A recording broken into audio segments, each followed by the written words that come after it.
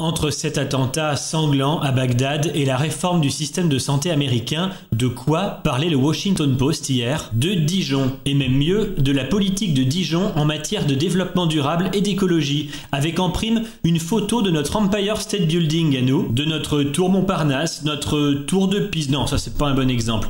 J'ai nommé la tour Elitis, notre tour à énergie positive. Alors, Bon, entre nous, c'était une opération de com. Je veux dire que les journalistes étrangers sont pas débarqués à Dijon par hasard, il y avait une agence de communication mandatée pour l'occasion, mais tout de même, nos homologues américains et chinois ont semblé impressionnés par la politique dijonnaise de management écologique, de développement durable et d'énergie renouvelable.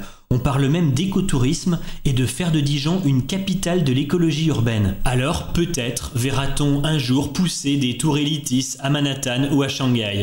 Nous avons rencontré pour vous Lisa, l'américaine, journaliste à la radio internationale Voice of America, et Ban, la chinoise, correspondante du quotidien des sciences et techniques. Lisa Bryant, bonjour. Bonjour. Vous êtes correspondante de VOA, Voice of America, la station radio internationale américaine. C'est votre première visite à Dijon? Euh, non, j'étais là peut-être il y a deux ou trois ans. Euh, il faisait très froid, mais c'était plutôt touristique. Celui-là, c'est un peu de travail. Dijon est connu comme la capitale du vin et de la Bourgogne, mais là, c'est tout, tout, autre visage qu'on présente de la ville aujourd'hui. Voilà, exactement. C'est plutôt la capitale euh, de la vie euh, plus écologique, euh, comment dépenser le moins d'énergie, comment conserver l'énergie. C'était vraiment, c'était vraiment fascinant. Qu'est-ce qui vous a le plus marqué durant ces deux jours? Euh, enfin, j'ai simplement pris une journée malheureusement, euh, donc j'ai pas euh, eu le temps de voir, de visiter les autres aspects, mais j'espère de téléphoner le mairie, peut-être avoir un interview avec le maire ou quelqu'un sur les, les autres aspects que vous faites écologiquement. donc, bien sûr, je peux dire que le, ce bâtiment est écologique. on dit passive housing, c'est plutôt plus que passif, c'est un plus positif. Positif, voilà. Euh, c'est fascinant. J'ai lu un petit peu, j'ai fait juste un petit peu de travail de reportage sur toutes ces questions de euh, l'énergie positive, euh, l'énergie renouvelable, etc. Donc, mais je ne savais même pas qu'il y avait cette sorte de bâtiment qui existait, qui était plutôt positif, même zéro. dire, c'est une avant-première, ça n'existait pas avant. Apparemment, c'est le cas, oui. Oui, c'est fascinant. Euh, ça me ça me fait penser trois fois, pas simplement au papier que je dois faire, mais aussi euh, comment je peux me comporter euh, mieux comme un, personne sur la planète. Hein.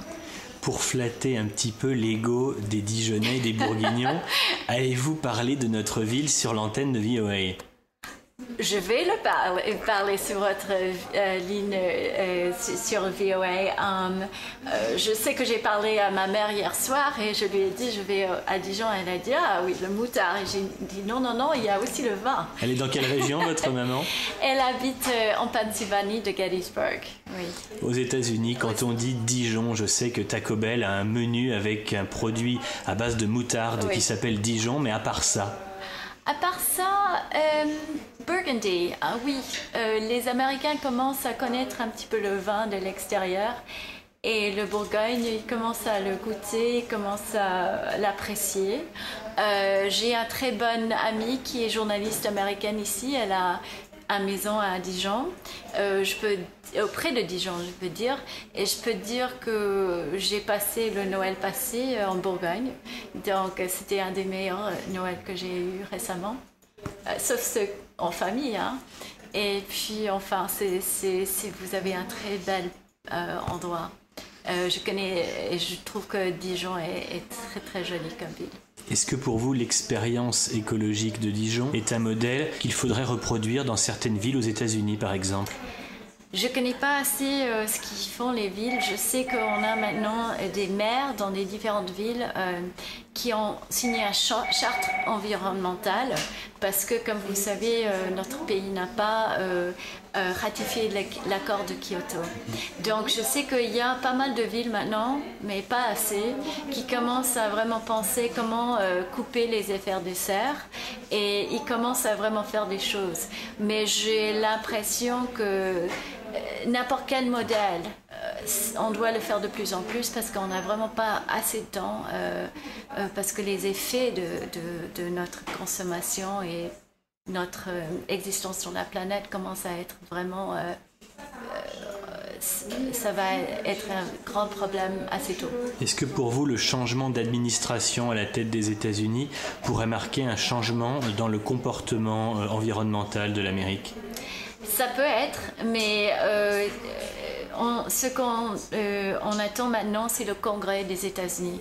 Euh, ce que j'ai lu plus récemment, euh, c'est que l'administration Obama va pas faire des grands pas, mais on, on va voir hein, à Copenhague parce qu'ils attendent qu'on a le process à, à loi qui est voté et qui que le Congrès se mit d'accord. À ce moment, euh, on a pas mal de projets de loi dans le Sénat et dans le Champ des députés.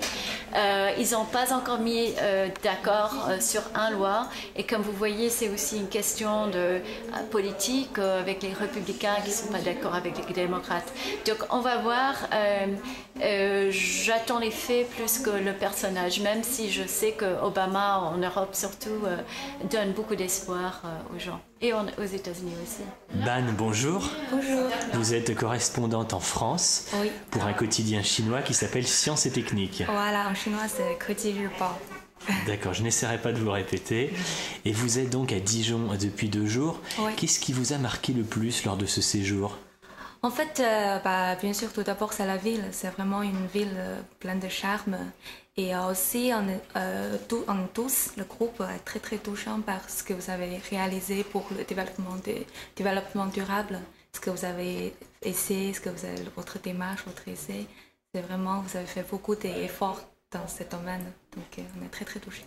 Votre démarche est-elle seulement journalistique ou souhaitez-vous également exporter éventuellement cette technologie en Chine pour essayer de faire la même chose? Bien sûr, c'est très important pour nous, euh, non seulement du niveau de technique, mais aussi du niveau de management, parce que vous avez non seulement faire beaucoup de, démarches le, pour, pour, le nouveau technique, mais aussi pour le management euh, écologique.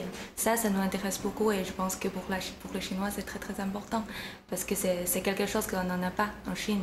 Donc on aimerait bien de, de, faire importer en Chine. Et en plus, en Chine, il y a des, on a vraiment besoin de, de, de ce genre de concept parce qu'on a, on a vraiment le problème de pollution. Donc euh, c'est vraiment des choses utiles pour nous. Qu'avez-vous à dire aux Européens qui parfois s'inquiètent de voir votre grand pays se développer aussi vite et risquer de devenir le premier pollueur de la planète? Ah non, ça c'est quelque chose pas très juste, je dirais.